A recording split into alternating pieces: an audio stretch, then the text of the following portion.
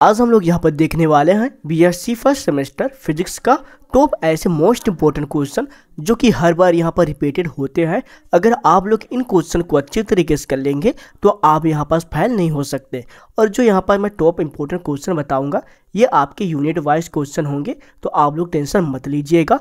और हाँ अगर आपको यहाँ पर लग रहा होगा कि आप हर यूनिट से टॉप इंपॉर्टेंट क्वेश्चन देंगे तो यहाँ पर मैं बता दूँ कि हर यूनिट में आपके टॉप यहाँ पर टेन क्वेश्चन हो सकते हैं, या फिर आपके यहाँ पास टॉप के फोर हो सकते हैं, या फिर फाइव हो सकता है। ज़रूरी नहीं कि आपके एक यूनिट में इतने सारे क्वेश्चन हो। क्वेश्चन को एक बार देख लेंगे तो आपको एक आइडिया लग जाएगा। ये आपका फिजिक्स का, मैथमेटिकल फिजिक्स और न्यूटन्स मैकेनिक्स का होने वाला है। और आपको बता दो, जो यहाँ पर सिलेबस लागू हुआ है, ये स्पेशली यूपी वालों के लिए है। लेकिन अगर इनमें से एमपी वाले होंगे तो भी इस वीडियो को देख सकते हैं, क्योंकि आप लोगों का जो पहला पेपर है, उसमें भी बहुत सारे सेम क्वेश्चन यहाँ पर देखने को मिलते हैं।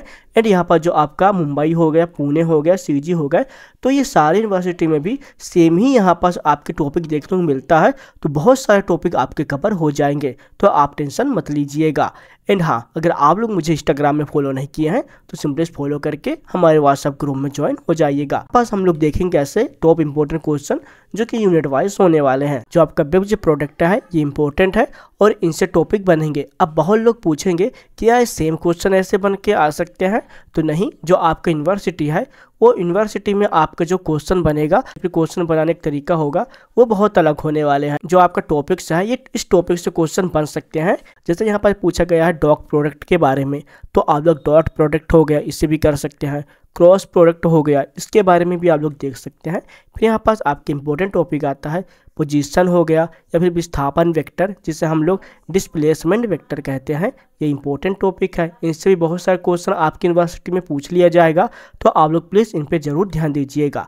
एंड इसके बाद फिर आपके आता है सूडो जो आपका आता है सूडो स्केलर और सूडो वेक्टर और आपको बता दूँ, जो आपका पहला यूनिट है, ये आपके पूरे यूनिट आपके वेक्टर और स्केलर के ऊपर ही डिपेंड करता है। कोशिश करिएगा, कितने सारे क्वेश्चन को आप लोग आप लोग वेक्टर और स्केलर को आप एक बेसिक टॉपिक कह सकते हैं। अगर आप लोग इन्हें अच्छी तरीके से कवर कर लेंगे तो ये सारे टॉपिक आप लोग ईजिली समझ सकते हैं। क्या था यूनिट वेक्टर के बारे में? अगर आप लोग यूनिट वेक्टर आप लोग कर लेंगे तो कुछ इतने टॉपिक्स हैं जो कि आपके एग्ज़ाम में पूछे जाएँगे। एंड इसके बाद फिर आपके आता है सेकेंड यूनिट सेकेंड यूनिट में आपके आता है ग्रेडियंट आता है डाइवर्जेंस आता है कर्ल्स आते हैं और उनके बारे में और उनके महत्व के बारे में।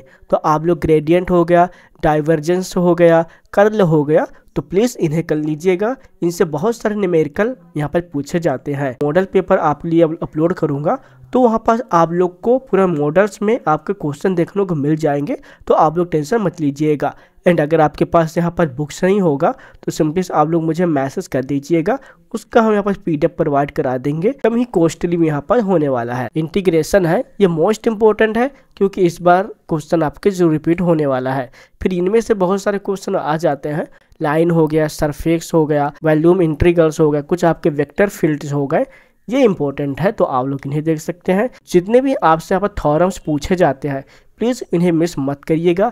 ये आपके मोस्ट इंपॉर्टेंट होते हैं और हमेशा रिपीट होता है। तो जो भी यहाँ पर थॉरम्स पूछे जाते हैं, आप लोग यहाँ पर खासकर इन्हें पहले रेडी कर लीजिएगा। जहाँ आपसे पूछा गया है गोस्ट डाइवर्जेंस थॉरम्स के बारे में तो आप लोग इन्हें कर लीजिएगा, क्योंकि थॉरम्स आपके ज़रूर रिपीट होंगे। जो आपका स्टोक कर्स थॉरम्स हो गए, आप लोग प्लीज़ इन्हें कर लीजिएगा।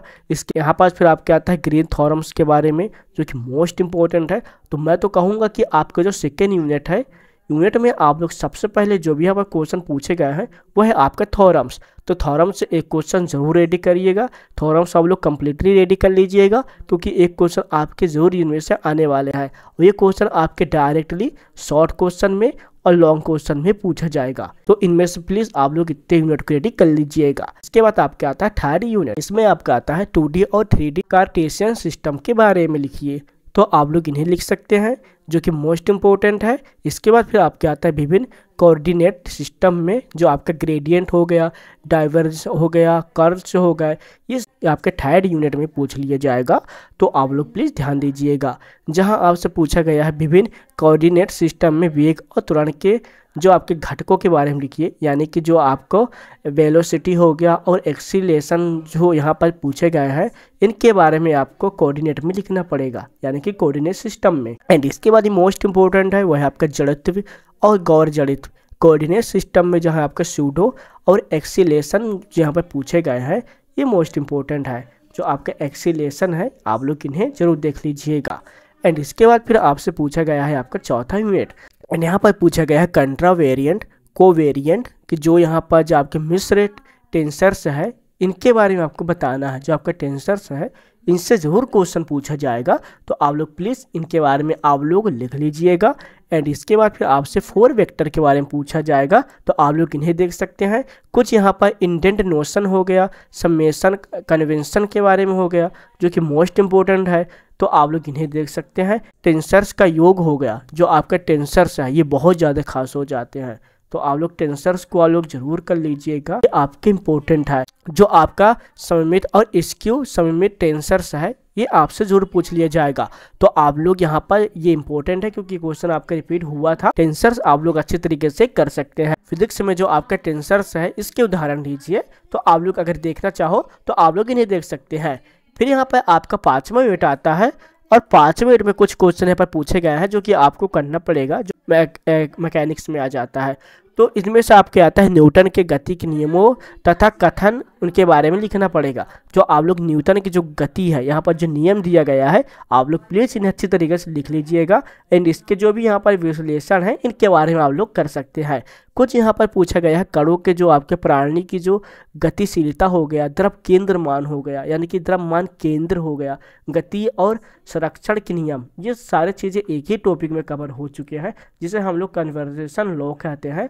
जो है आपका ऊर्जा संरक्षण के नियम भी इसमें आ सकता है। याद रखिएगा, जो अगर आप लोग ऊर्जा संरक्षण के नियम भी आप लोग पढ़े होंगे तो आपके जो सेकेंड है, इसके अंदर कवर हो जाएँगे। तो आप लोग इनमें से ज़रूर इन टॉपिक को रेडी कर लीजिएगा। एंड यहाँ पर पूछा गया है, घूमते हुए संदर्भ में फ्रेम के बारे में आपको लिखना है।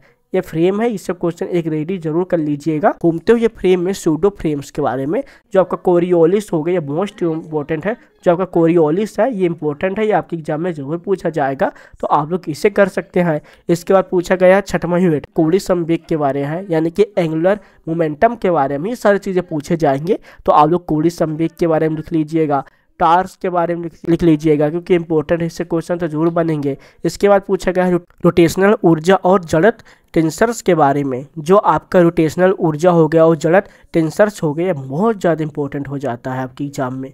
तो आप लोग किन्हें कर सकते हैं? ये सारे क्वेश्चन अगर आप लोग, अगर आप लोग रेडी किए हैं, अगर आप लोग रेडी नहीं किए हैं तो यहाँ पास मैं पूरे इंपॉर्टेंट क्वेश्चन ही बता दे रहा हूँ। अगर आपके पास टाइम सा तो आप लोग प्लीज़ इन क्वेश्चन को रेडी कर लीजिएगा। एंड यहाँ पर पूछा गया सरल वस्तुओं तो सरल लेमिना आता है रिंग आता है डिक्स आता है, ये सारे चीज़ें आ जाते हैं। अगर आप लोग इनके अंदर कुछ टॉपिक आप लोग रेडी कर लेंगे तो आप लोग इजली यहाँ पर को अच्छे नंबर लेकर आ पाएँगे। फिर यहाँ पर पूछा गया है, क्षैतिज और तिरछे समतल पर एक कठोर निकाय के संयुक्त के बारे में आपको बताना है तो रिजिड बॉडी है। आप लोग याद रखिएगा, जो आपका रिजिड बॉडी है, ये इससे क्वेश्चन आपकी ज़रूर बनने वाले हैं। आगे हम लोग देखेंगे प्रत्यास्था के बारे में, यानी कि इलास्टिसिटी के बारे में, जो आपका प्रत्यास्था है ये बहुत ज़्यादा इंपॉर्टेंट है। इससे बहुत सारे क्वेश्चन रेडी होते हैं। जैसे कि हमें पूछा गया है, प्रत्यास्था स्थिरांक के बारे में। ये भी इंपॉर्टेंट है। अगर आप लोग प्रत्यास्था के बारे में समझ जाएँगे तो कुछ कॉन्सेप्ट आप लोग प्रत्यास्था स्थिरांक का भी निकाल सकते हैं। फिर यहाँ पर पूछा गया है, बिम के मुड़ने पर सिलेंडर के मरोड़ के बारे में लिखिए तो आप लोग इन्हें भी देख सकते हैं। यहाँ पर जो आपके सिलेंडर है, बहुत ज़्यादा इंपॉर्टेंट है। एंड ये जो आपका बिल्डिंग है, ये बहुत ज़्यादा इंपॉर्टेंट हो जाता है। बेंडिंग से बहुत सारे क्वेश्चन यहाँ पर बनेंगे। सातवा यूनिट सातवें यूनिट में यहाँ पे पूछा गया है, दो कड़ों की केंद्रीय समस्या, जो कि बहुत ज़्यादा इंपॉर्टेंट है। आप लोग यहाँ पर जो न्यूटन के जो गुरुत्वाकर्षण नियम है प्लीज़ आप लोग इन्हें रेडी कर लीजिएगा। ये आपसे एग्ज़ाम में पूछा ही जाएगा। आकर्षण क्षेत्र और गुरुत्वाकर्षण विभाव, ये मोस्ट इंपोर्टेंट है। इससे क्वेश्चन भी बन सकते हैं। इसके बाद फिर पूछा गया है केपलर्स के ग्रहों की गति के नियम लिखिए। ये डायरेक्टली आपके लॉन्ग में क्वेश्चन पूछा जाता है। केबलर के जो नियम है, इसके बाद पूछा गया है सिंक्रोनेंस हो गया और भू स्त्री उपग्रह, यानी कि यहाँ पर जो आपका सेटेलाइट है, इसके बारे में यहाँ पर पूछा गया है। जो आपका सेटेलाइट स्टेशन हो गया सेटेलाइट जो आपके पृथ्वी का जो चारों तरफ़ घूमता रहता है, उसे हम लोग उपग्रह कहते हैं। इसके बारे में पूछ लिया जाएगा आपके लॉन्ग में, या फिर यहाँ पर शॉर्ट में तो आप लोग इन्हें भी देख सकते हैं। फिर यहाँ पास हम लोग देखेंगे आपका लास्ट क्वेश्चन जो कि मोस्ट इम्पोर्टेंट है। यह आप लोग का ग्लोबल पोजिशनल सिस्टम, जिससे क्वेश्चन ज़ोर बनता है, जो कि जीपीएस भी कह सकते हैं। फिर यहाँ पर आपके आता है आपका लास्ट यूनिट आठवां यूनिट इसके अंदर कुछ लॉन्ग क्वेश्चन ज़्यादा देखने को मिल जाएँगे, लेकिन इनमें से मैं आपको जो जो क्वेश्चन बताऊँगा, केवल उन्हें टिक करिएगा। जैसे कि यहाँ पर पूछा गया सरल आवर्ती गति का अपकलन समीकरण और उसका हल, जो है आपका सिंपल हार्मोनिक मोशन जिसे हम लोग शॉर्ट में एस एच और एम भी इसको कहा जाता है। ये क्वेश्चन आपके डायरेक्टली एग्ज़ाम में पूछेगा। इनके बारे में आप लोग कॉन्सेप्ट इनके समझ गए तो आप लोग इजीली कर लेंगे। जटिल संकेतन। तो आप लोग कम्प्लेक्स जो नोशन है, आप लोग इसको छोड़ सकते हैं। एंड इसके बाद फिर जो आपके आता है डैम्पर्ड के बारे में तो आप लोग डैम्पर्ड हो गया। अगर आप लोग करना चाहो तो कर लीजिएगा और ना छोड़ दीजिएगा। इसके बाद फिर पूछा गया है क्वालिटी फैक्टर के बारे में, जो कि इंपॉर्टेंट है, आपकी एग्ज़ाम में पूछ लिया जाएगा। फिर यहाँ पर आता है आपका सर आवर्त गति का संयोग।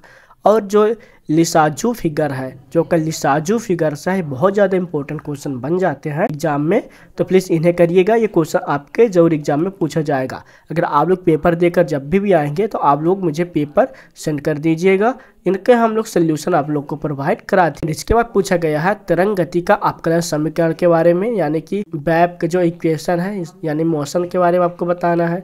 कुछ आपको तरल माध्यम में आपको यहाँ पर जो प्रतिगति तरंगों के बारे में, यानी कि फ़ील्ड मीडिया जो हो गया, इनके बारे में आपको बताना है। कुछ आपको तरंगों का जो परिवर्तन और फ़ेज़ परिवर्तन के बारे में आपको बताना है तो आप लोग इन्हें कर सकते हैं। फ़ेज़ को हम लोग यहाँ पर स्काला भी कहेंगे। यहाँ पर पूछा गया है दाब अवतरण के बारे में, जो कि मोस्ट इंपॉर्टेंट है, जो है जिसे हम लोग प्रेशर और एनर्जी कहते हैं। ये क्वेश्चन आपकी एग्ज़ाम में ज़रूर आएगा। एंड इसके बाद पूछा गया चरण के अध्यारोपण, ये मोस्ट इंपॉर्टेंट है, ये आपके एग्ज़ाम में भी आ सकता है। स्थित रंगों के बारे में, अगर आप लोग करना चाहो तो आप लोग कर सकते हो, ना छोड़ दीजिए। यहाँ पर पूछा गया फ़ेज़ बेग और समूह बेग में अंतर, अब यहाँ पर आपका ऐसा हो सकता है कला वेग। कला वेग और समूह बेगम के बारे में। तो ये इंपॉर्टेंट है, जो कि मोस्ट इंपॉर्टेंट है। तो आप लोग प्लीज़ इन्हें कर लीजिए। ये क्वेश्चन आपके एग्ज़ाम में ज़रूर पूछ लिया जाएगा। इनमें सबसे पहले जो आपका फ़ेज़ आता है, इसे करिएगा। तरंग है, इसके बाद जो अध्यारोपण इन्हें करिएगा। प्रेशर इसे करिएगा। एंड इसके बाद जो आपका फ़ेज़ चेंज छोड़ सकते हैं सेकेंड भी आप लोग छोड़ सकते हैं। एंड जो आपका फ़र्स्ट है, यानी छठवा क्वेश्चन आप लोग इन्हें कर सकते तो कुछ इतने क्वेश्चन है, जो कि आप लोग इजिली अच्छी तरीके से कर पाएँगे। तो चलिए मिलते हैं नेक्स्ट वीडियो में। जब तक लिए जय हिंद बाय